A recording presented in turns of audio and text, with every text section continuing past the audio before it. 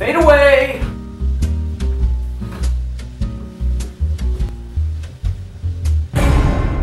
Oh no. Was having a baby not on your to-do list today? Look at the bright side.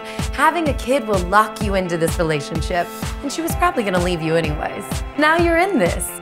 And, bonus, you just got a pair of Brightside sunglasses. Thank you. They're designer quality without the ridiculous price tag. Not mine. I I can't have kids. Really? Cross country skiing accident, 97. Well, then the kid's somebody else's problem. You're off the hook.